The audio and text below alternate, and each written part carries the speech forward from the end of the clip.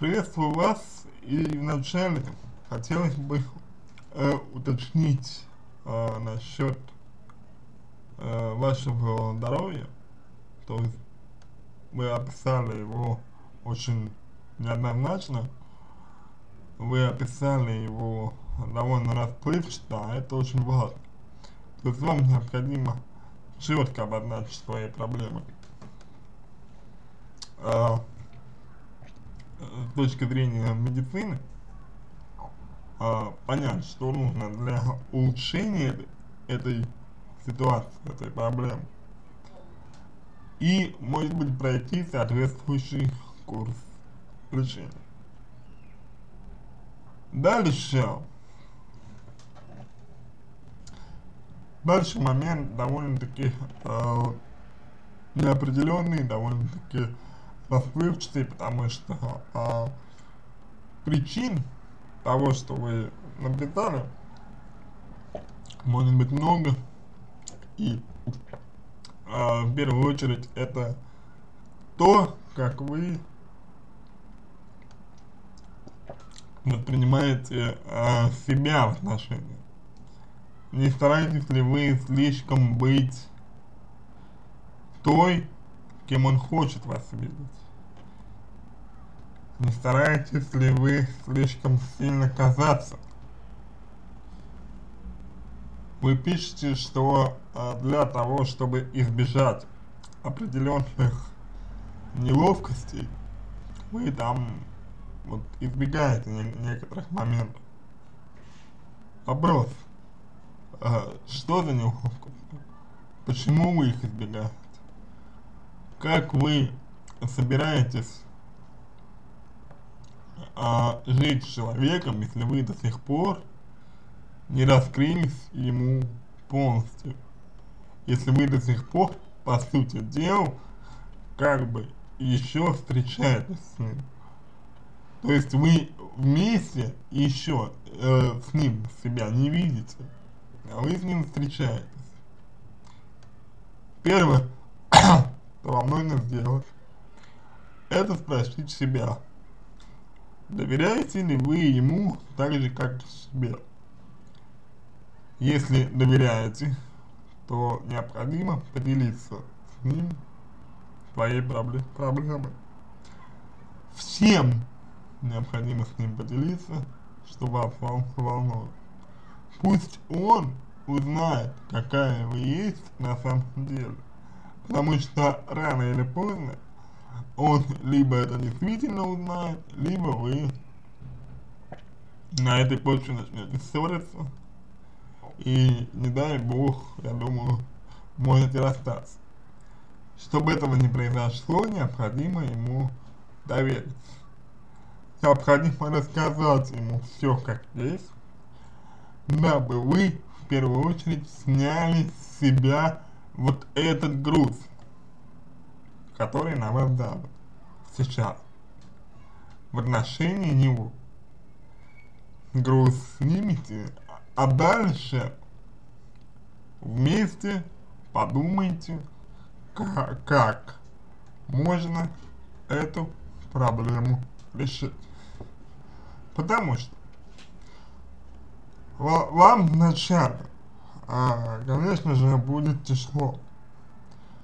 Вы вначале а, проблему не исправите так вот сразу.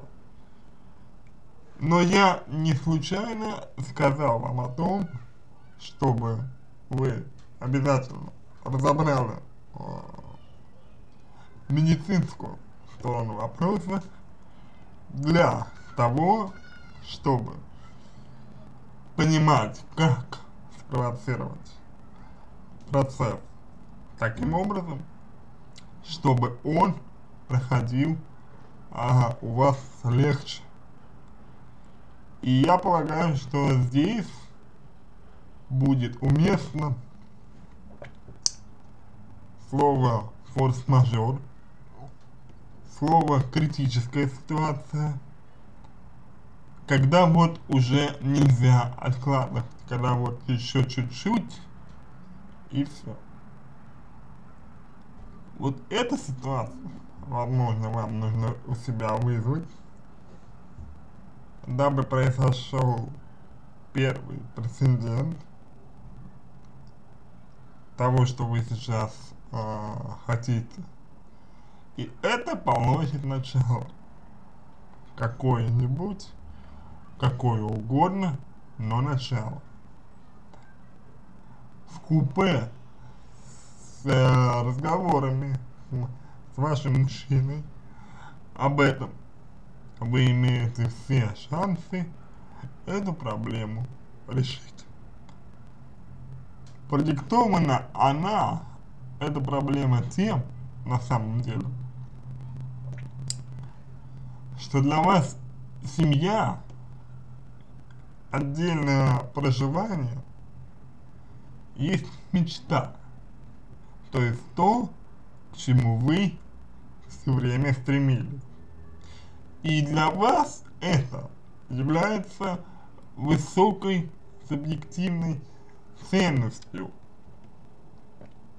И потому возникают такие проблемы. Если бы не было это для вас цен, то тогда не было бы и таких проблем у вас.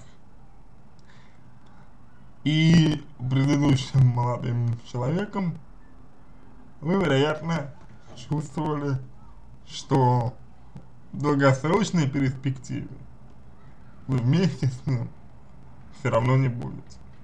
Именно повышенная субъективная ценность опосредует такую вот реакцию на то, что вами воспринимается как, скажем, последний барьер в доверии мужчине своей мечты.